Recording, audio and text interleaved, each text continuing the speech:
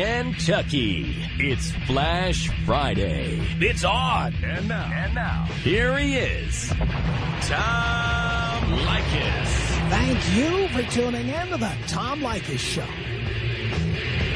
This is where America gets together to talk about the issues you really care about. It's a different kind of a radio talk program. We're the radio talk show that is not hosted by a right-wing wacko or a convicted felon. No. I am your host. Write down our toll-free telephone number. You're to need it. It's 1-800-5800-TOM. 1-800-5800-866. It's Flash Friday from the Kentucky Bourbon Festival on the grounds of the Jim Beam Distillery. Headlights on across North America. Headlights on. Lay it easy if you see the headlights on. You know what to do. Show us your cans. It's that simple. We flash you, you flash us. If you see a nice pair of boobs, call us and let us know where you were, what you saw. Call 1-800-5800-TOM. And if you've got a nice pair of knockers and there's nobody with the headlights on where you are, call us at 1-800-5800-866. And we'll do our best to send some of our boys over there to flash their headlights. Let's get this thing going. Wide open telephones on the Tom Leykis show. Anything goes here, anything at all. We can talk about anything that's on your mind. It can be anything we discussed on the air this week, anything you think we should have talked about. You can call up, yell, scream, complain, jump up and down. It's all fair game, long as you're absolutely fascinating. If you're not, we kick your ass the hell off the telephone. Here's our telephone number, 1-800-5800-TOM. 1-800-5800-866. This is Eddie on the Tom Leykis Show. Hello. How you doing, Tom? Doing good, Eddie. All right, I got a little story for you. Okay. I've been listening to you for about six months now. And at that time, when I started listening, I was living with my girl at the time, and uh, and couldn't get her ass out of the house. So, So you do, wait. So let me understand. Let me understand. You you wanted her to leave, and she wouldn't. And so uh, did she? What she said? Why don't you move? Or what did she say? What was her response when you told her to get out? She was uh, she basically was taking her time. She was gonna when she found out she was getting out, and it wasn't fast enough for me. Right. So I took your advice as far as uh, turning off utilities and everything. And when I was calling up, there it was uh, they were going to cost to, to turn them back on when I was ready for them. So what I did was I went out to my uh, fuse panel on my block on the house, shut off all the utilities, all the power, everything. She was go- she came home from work wondering why everything was turned off. Told her I couldn't pay the bills. It was great. As soon as she ah. left the house, I turned them right back on. I had power, TV, everything. Very nice. Very good. It didn't cost me a dollar or my time, and I still loved every bit of living there. So never ever let them move in again. What are you doing, Eddie? Yeah, I was dumb. That's why I got her out. Started listening to you and light them on. Are you getting more ass than a toilet seat now? Uh, I love it. But I had to share that with you. It's just it worked out too well. I love that. well, thanks for the hey, thanks for listening to me, Tom. Take me out with uh, Kobe. Take you out Kobe style. Here you go. This is about us. She's so special to me. Yeah, it beats in my heart. Yeah, the air I breathe. Meet, you're on the Tom Leykis show. Hello. Um, my brother from a different mother. Richard. Hey, uh, I was, uh, yeah, I heard about you talking about Maker's Mark, and I was Yes. there a couple of years ago. And uh, you'll notice I paused just in case you need to jump in there. Yes, thank you for th thinking about that. Yes. Um, anyways, you talk about handcrafting. They actually, not only do they hand, uh, hand uh, put those things in kegs and put them in bottles, but they actually print, die cut, and glue on their own labels. So they actually print every label you see on Maker's Mark on the facility there in Kentucky. Is it, wait, Gary was just there today. Is that I was true? just there like a couple hours ago, and uh, he is indeed right. They uh, do they they handprint the labels. They um, somebody physically separates each label, so they're they're hand printed. Then they're they're um, kind of cut out, and then somebody physically uh, separates the labels.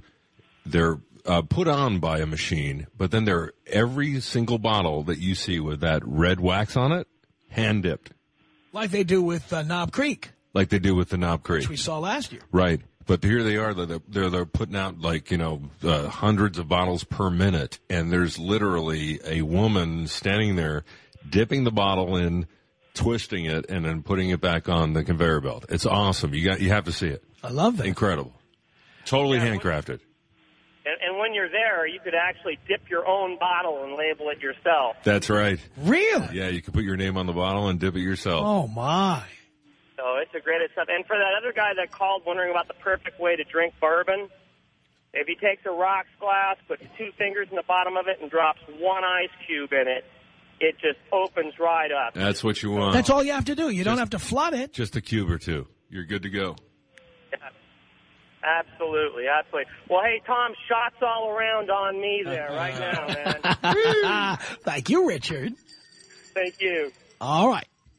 Take care. Here goes Lee on the Tom Leykis show from the Kentucky Bourbon Festival. Hello. Hello, Tom. How are you? Doing great. That's good. I was asking for your advice. Um, I went to the bar last night with a buddy of mine and his wife, and uh, we were drinking, you know, having a good time, and then, uh, you know, we were flirting with each other. And then a buddy of mine, he said, uh, yeah, my wife thinks you thinks you're good looking. You know, just kind of joking and jest.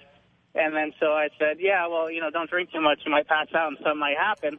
And I think that planted the idea on her, and then uh, he passed out, and we might, then we ended up hooking up at his house later. Do you think I should tell him or, you know, keep it Well, quiet? first of all, I I I, I got to tell you, that's against the guy code. I, I you don't do that to a friend. I don't know why you did that. Yeah, we were drinking heavily. You know, I'm. I'm No, no, but you knew, you knew, you knew before you had drunk heavily that this was a possibility, and and you remember what happened. So therefore, you had the ability to stop it. You're absolutely right, and you know, I, I'm feel really guilty about it, and I'm kind of. I want to tell him, but a part of me doesn't want to tell him because I will, you know, ruin the friendship. So I'm just kind of uh, calling you to ask your advice as far as. Well, I, I certainly wouldn't volunteer that information, and you never know when his wife is going. to... Here's the thing you never thought about: what happens if his wife gets a case of the guilt and tells him? that, that's what I'm thinking. Would it, you know, be better if I just, you know, stepped up and, uh, you know, stepped up the plate and told him before his wife did, you know, being. No, you have to throw. No, you have to throw his wife under the bus. You have to say that she uh, jumped on top of you and uh, rode you like a say anything, and that was why you didn't tell him because she was afraid their marriage would end. Yeah, yeah, that's, you know, I was, I was thinking the same thing. I just want to get an expert opinion on it. Well, I wouldn't say anything until uh, forced to do so, but pal, you really violated the guy code. And if you lose this guy's friend or if he punches you in the face, you deserve what you get. You're absolutely right, Tom. Thanks a lot for the advice. Appreciate it, Lee. 1-800-5800-TOM. Here's Dan on the Tom Leykis show. Hello. Hello, Tom. Hello, Dan. Tom, you are my idol. You always have been. You, you. I, I, I so much appreciate your intellect, your logic, the way you can take an issue and focus and follow it through, and you know, call BS on anybody that uh, you know strays from your uh, your godly ways, so to speak. And my question is, I, I've also recently become a big fan of Adam Carolla. I Yeah. appreciate his intelligence, his logic, and I'm just wondering if you're friends with him and, and what your opinion on uh, Adam Carolla. Well, I've known Adam for a long time, uh, but I used to see Adam more when he did Loveline because we worked in the same studio, even though Loveline's on a different radio station. Uh-huh. Uh, we were both uh, doing the show at the Westwood One studio, and uh, we were syndicated by Westwood One. And uh, so he would be down there to do the show, and I would see him there.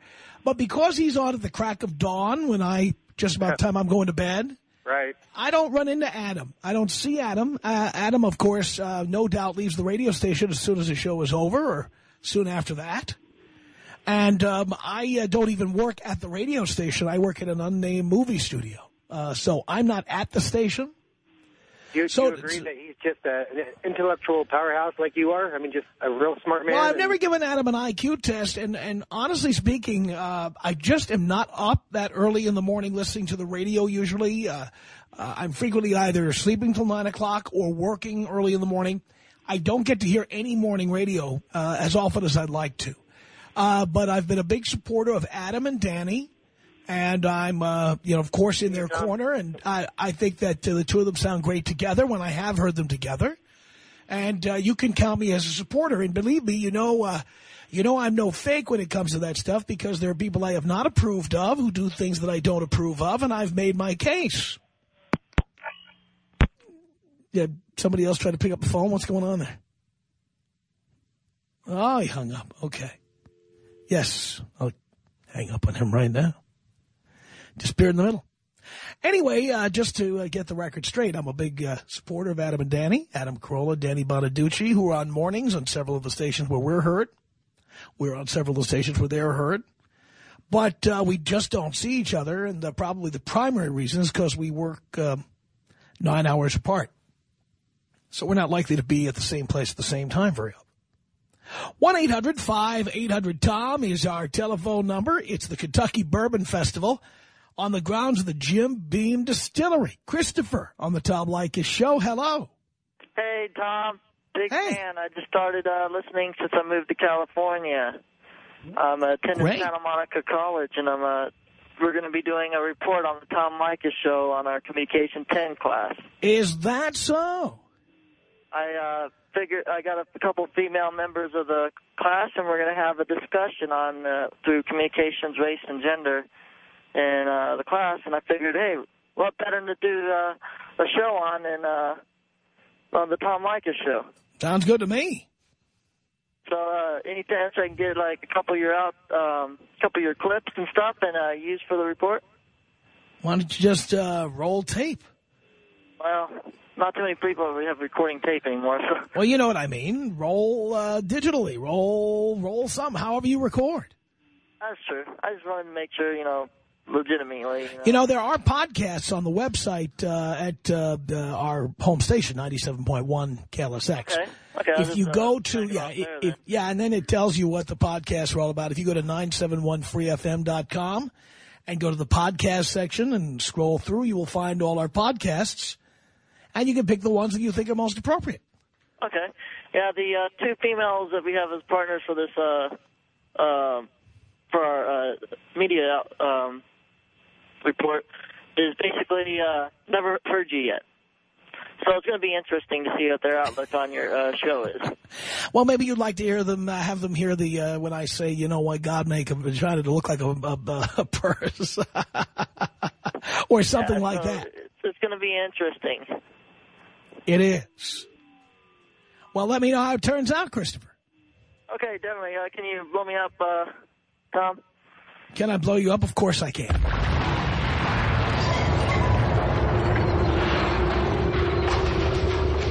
Tom Leykis. 1-800-5800-TOM. You two are going to be flashing on the way down? If we see headlights. Well, that didn't take long, did it? we have a listener. Oh, my God. Wow. Listen to that. Black Friday has begun. Oh, my God, hot tub, that's amazing.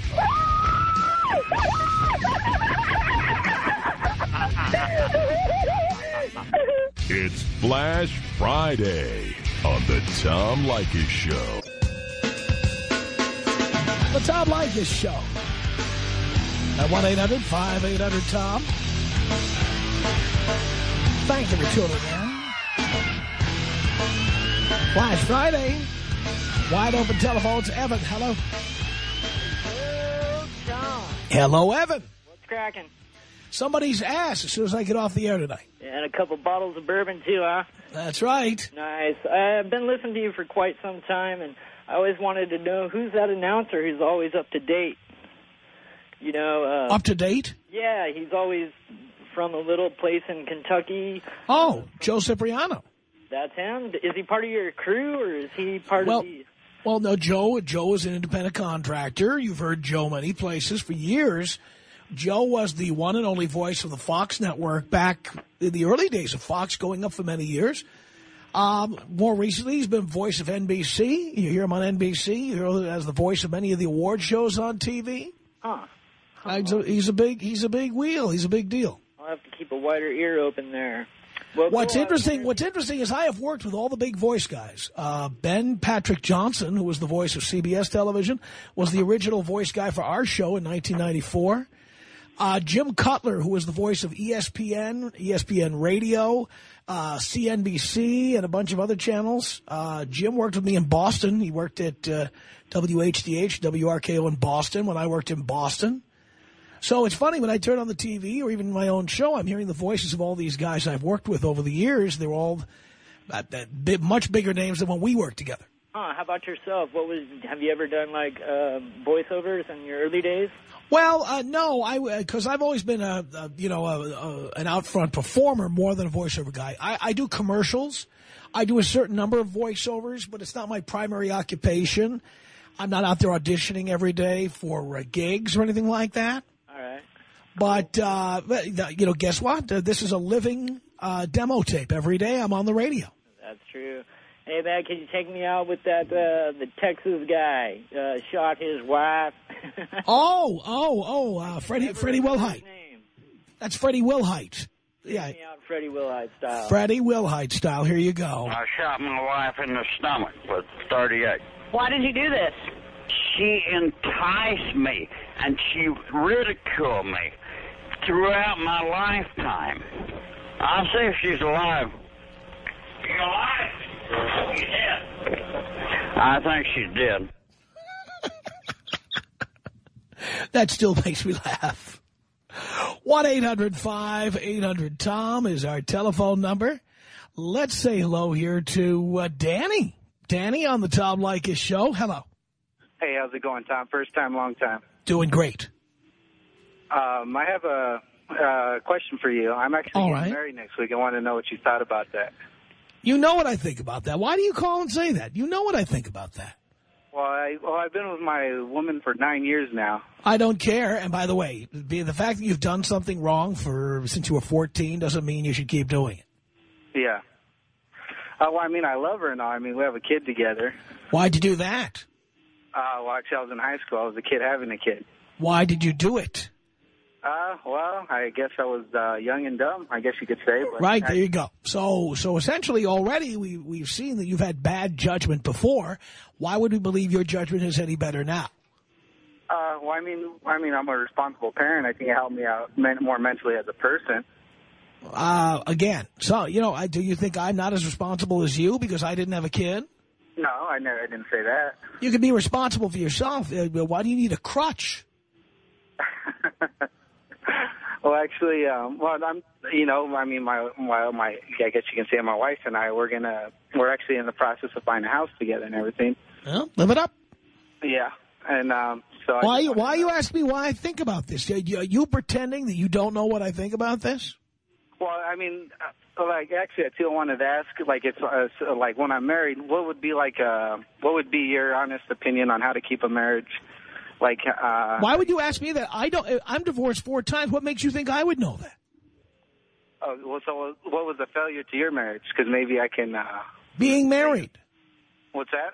Being married was the failure. Your failure was being married. Yes, that was the So- failure. So there's no secret to staying married. It's just If I uh, knew it, why why wouldn't I do it? Oh, I don't know. So your your failure was getting married. Right. The one, the best way to prevent divorce is to prevent marriage. Okay, I see your thought on it. Alrighty, Tom, just wanted to call to. By the way, do you are you aware of the percentage? Listen carefully now. Okay. Are you aware of the percentage of marriages that uh, end up in divorce among people who uh, got it together when they were teenagers? Uh, no, I don't. Eighty percent. Eighty percent. Yes, sir. Pretty high statistic. Yes, it is. So go ahead, buy a house, entangle your finances. Just get ready. You're going to be a financial slave for the rest of your life. Alrighty, Tom. it's very um, alrighty, Tom. Thanks so much. take me out, Take uh, me out to Col- Columbine style. what? hey, can you take me out with wedding bells, Tom? Wedding bell style. Yeah. I don't think we have wedding bells because we rarely uh, would advocate weddings on this program, so I don't think we even have them. We have something for you, Danny. Here it is. All right. Thank you, Tom.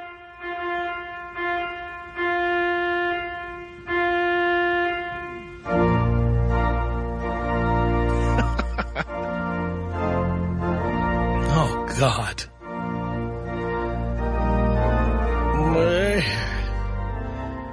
Oh, just shoot me. 1-800-5800-TOM is our telephone number. Here's Victor. Victor on the Tom Leykis show. Hello, Victor. Hi, Tom Leykis. I love your show. You are the godfather of talk radio, and your last caller was an idiot. Yes. Okay, my question to you is, how do you feel about the New England Patriots and their whole scandal? I mean, they're a great team, and if it was anybody else, what would happen to them? Well, let's see how good they are when they can't cheat anymore. No, I definitely. And can you imagine if they made it and won the Super Bowl, how people would be outraged? Well, they already did that. No, I understand that, but this year, I mean, I understand they're trying to penalize them for next year, the draft picks and this and that. Right. But it has no effect to this year. Well, that's right. I mean, I think Bill Belichick should have been suspended without pay, don't you? No, he he's making a, a bunch of money to cheat. That that's right. So look, we've And got I- cheating. We've got cheating scandals now in three of the four major team sports in America. Baseball's got the steroid scandal. The NBA has the referee scandal, and we don't even know how bad that is yet. And now in the NFL, you got a coach who's been videotaping other people's signals. This is an outrage to the sports. I mean, football. I love football and everything, but how can you trust it now? Well, uh, you know what? Uh, my guess, most Americans love football so much they'll overlook this. But I'll tell you what, the New England Patriots are a bunch of cheaters, and, uh, you know, I, I certainly don't recognize any of their achievements at this point. And that's right. Just like my opinion is like Barry Bonds, and uh, you know they're on a group. Thank you, Tom. I love it. And uh, can you please take me out JFK style? Senior or junior? Senior or junior? Junior. JFK Junior style. Here you go.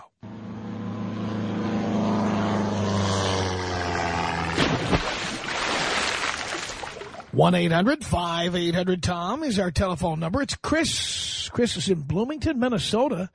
You're listening to the online stream on the Tom Leykis show. Hello. Hello, Tom. Hello, Chris. How you doing? Do you care, Chris? Of course I care, Tom. I'm doing great. Now, isn't Bloomington the former home of, the, home of the Minnesota Twins? Uh, that's correct, and actually, it's where the Vikings uh, used to play football before they built uh, the dome. And it's now the home of the Mall of America. You got it. That's All right. correct. Very good. Okay, big question for you here, Tom. I want to hear what the professor's opinion is of women on MySpace. They're sluts. Okay. Which is why I like it, because uh, you know why they call it MySpace? That's named after the space between the woman's left thigh and the woman's right thigh. Excellent, excellent. Okay, so if say, what if you're involved with a chick or whatever? What if a chick has something on there private? Obviously, you know she has something she doesn't want to show, right? Well, is it private from you? Well, no, it's not from me, but from in general. Like, I guess people that aren't- on your friend list or whatever.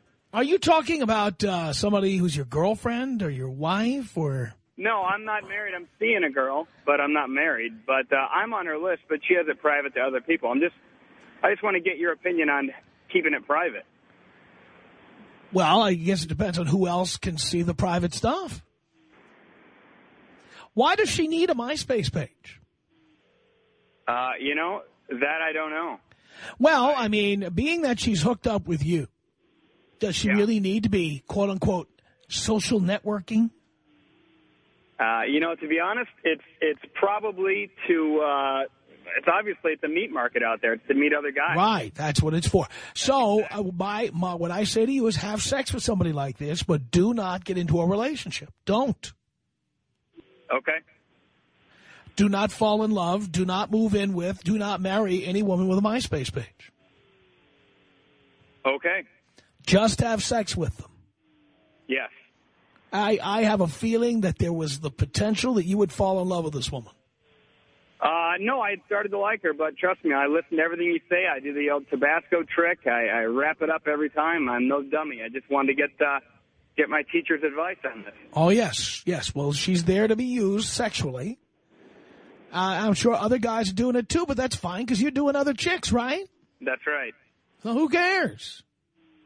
By the way, who cares what her private or public MySpace is? As long as you're getting your piece, why do you care?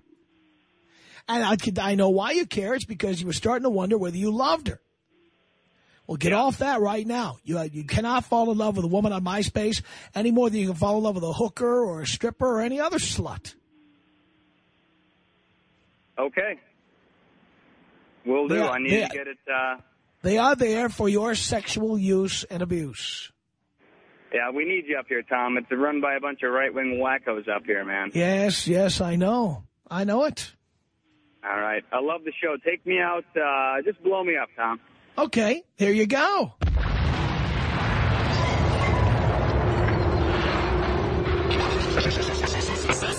Tom Leykis. Tom Leykis. 1-800-5800-866. Women go into a relationship and get upset because the man isn't fulfilling this fairy tale romance. Yeah. But they're not interested in fulfilling the other side of the fairy tale romance. That's right. Barefoot, pregnant, fellatio on demand. The Tom Leykis Show.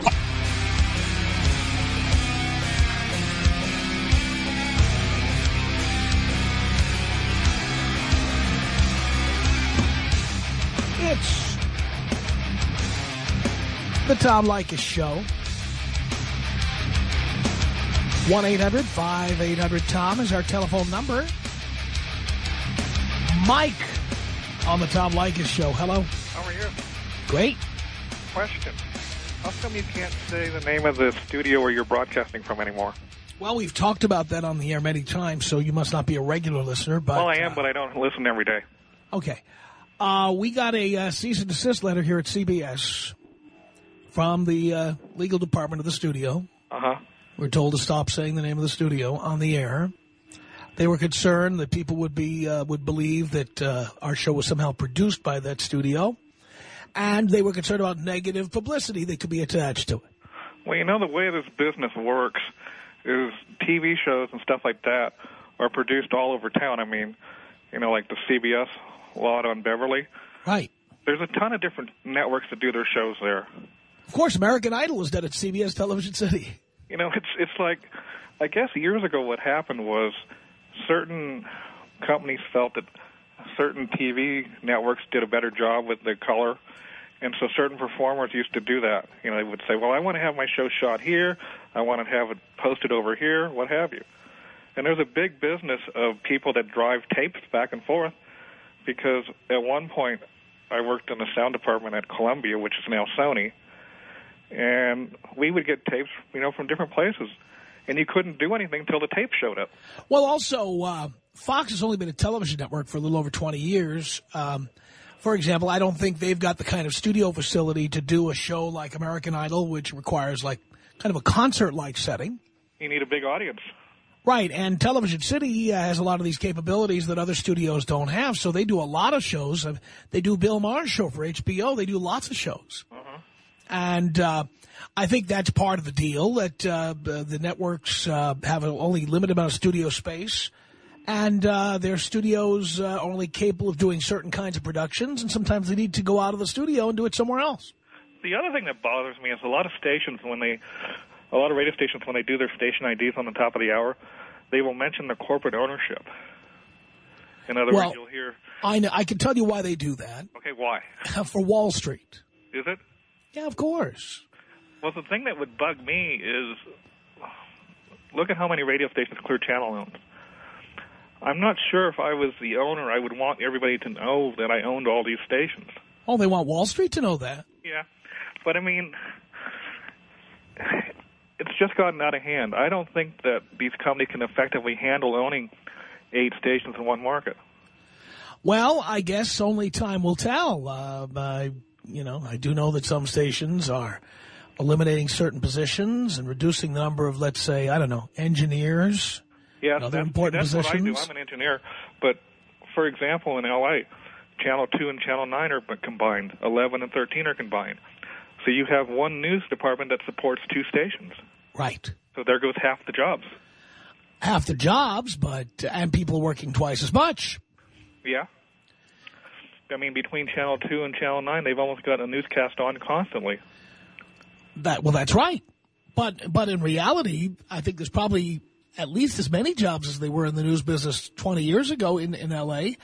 Uh, because uh, back before 1990, Channel 9 in L.A. didn't have so many hours of news on. They had like one newscast every day for like an hour at night, and that was it. Yeah, well, when Disney bought it, that's when they started doing the three hours of primetime news. Well, and that's when they, look how many people they hired back then. I know. So there were a lot more jobs for a while. Yeah. Now there's a technology that you may or may not be aware of. It's called ParkerVision. This is, allows you to do a newscast with one technical person. And you know, it sort of automates the news.